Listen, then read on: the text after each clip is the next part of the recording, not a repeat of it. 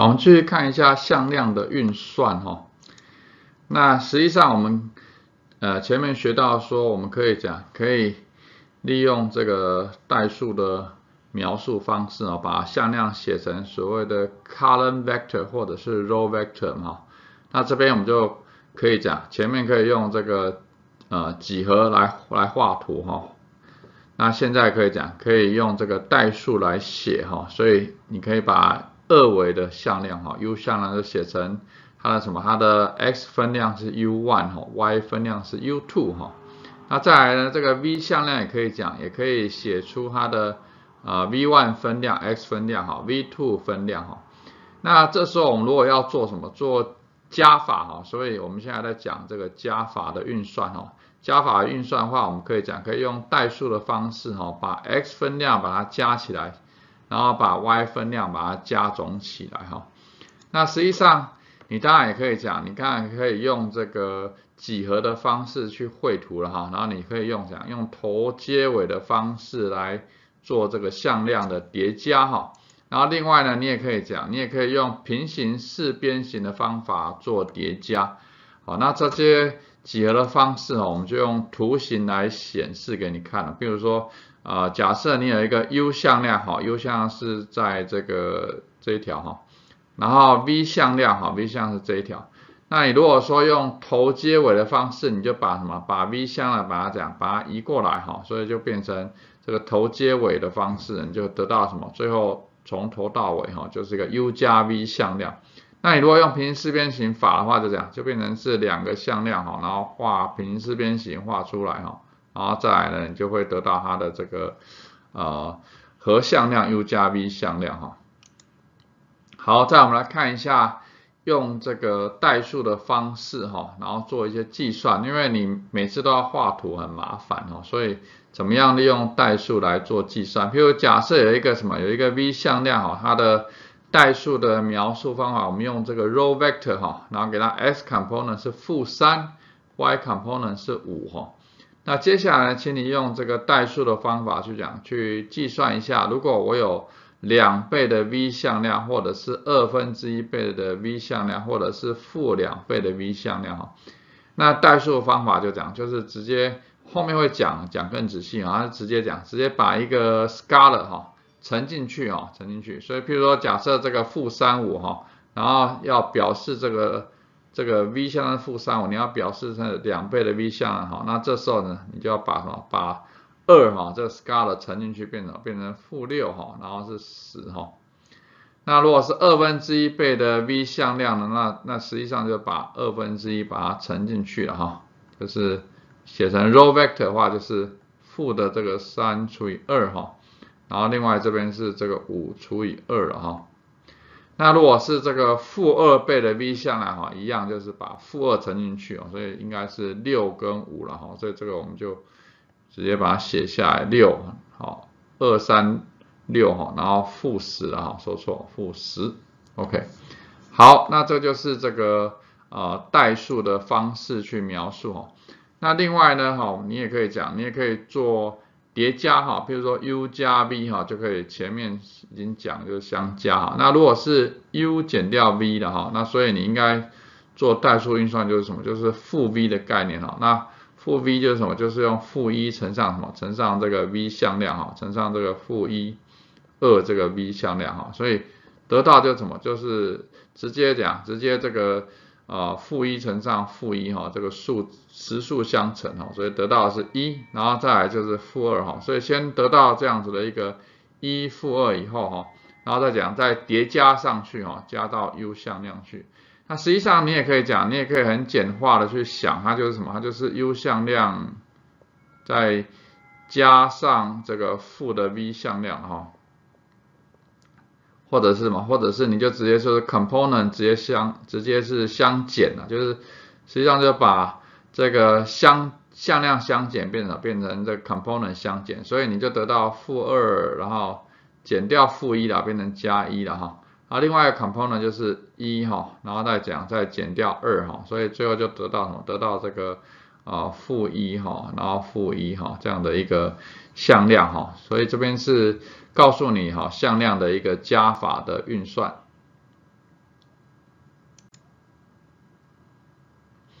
好，再来我们就要推广哦，所以前面我们就利用你熟悉的二维空间哦，然后把你从前所熟悉的计算，然后慢慢用什么用这个矩阵的方式来教来教你哦，认识这个矩阵。那二维空间就讲就可以推广到三维空间啊。其实那概念就是说，假设这个三维空间多一个 z 嘛哈。那这三维空间有 x、y、z，你总是可以讲，总是可以找到它投影的二维空间嘛。比如说 x、z 就是一个二维空间，x、y 也是一个二维空间，然后 y、z 也是一个二维空间。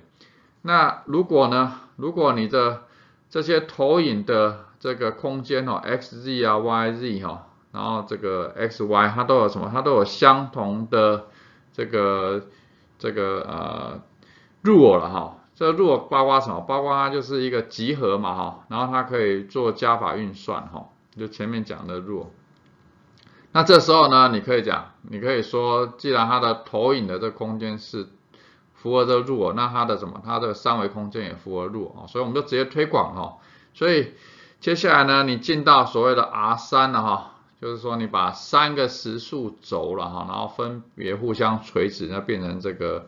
啊，三维空间的这个向量的概念哈，那这就是我们画在这个右上角这个图形哈，所以你有 x 轴、y 轴、z 轴哈，那你可以用一个这个啊这个长方体哈，然后把 x 分量、y 分量、好 z 分量把它画一下哈，然后最后呢，它从什么？它从一个角落另外一个角落，这个蓝色的哈，就是什么？就是它的这个向量好。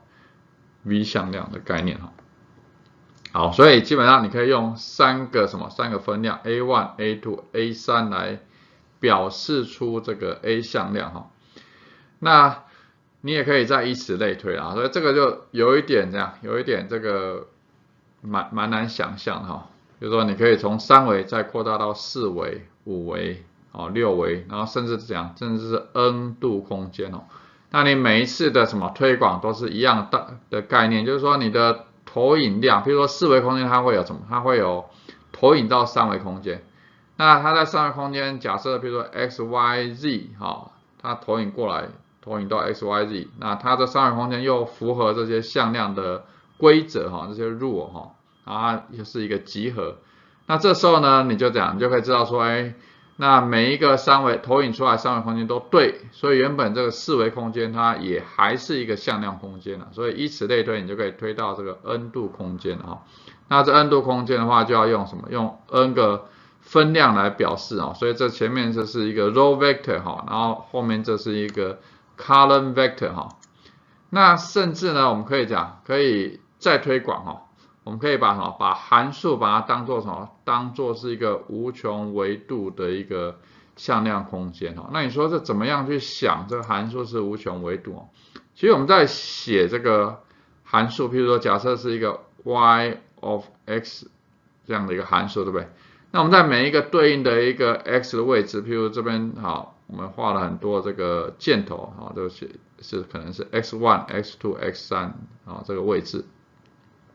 那每一个位置就会对应一个什么？对应一个 y1 啊，y2 哦，y3。那实际上这个 y1、y2、y3，，我们就可以当做什么？当做我们的这个向量的什么？向量的这个分量的概念啊。所以，譬如说它可能就它可能就是一个呃，我们写成这个 row vector 的话，它就是一个可能有 y one 啊，y two 啊，y 三啊哈，点点点哈，一直下去。然后它讲还有无穷维度啊，所以你。正常的函数你要从什么？从左边哈，然后一直把它的 y 值一直找出来哈，然后无穷维度一直到什么？一直到右边哈，一直到无穷大哈。那所以它是一个无穷维度的空间哈，所以函数其实也是一个什么？也是一个向量的概念。那后面我们就会学习这样的一个向量，它讲它一样可以做什么？做一个当然简单的叠加哈，相加。另外它可以讲可以做这个内积哈等等的这些运算哈。所以呢，在算在了解完加法之后，你看到说，哎，其实我们可能会有什么？会有一些加法运算，有一些所谓的呃，它可以讲可以 commute commute。所以我们这边可以看到后面啊，接接下来要讲就是说，这运算上会有 commutativity 的一个啊概念。那在右边我们就写下 commutativity 的这个想法，比如说这个 u 加 v 哈的一个运算，那你写成这个分量的运算，然后再来你可以讲，你可以利用它是分量运算，然后可以这样可以实数运算可以导过来哈，u one 加 v one 变成 v one 加 u one 哈，所以最后就可以得到说它向量的这个加法哈，它会有所谓的 commutativity 可以互换哈，那后面就开始介绍这这些特性。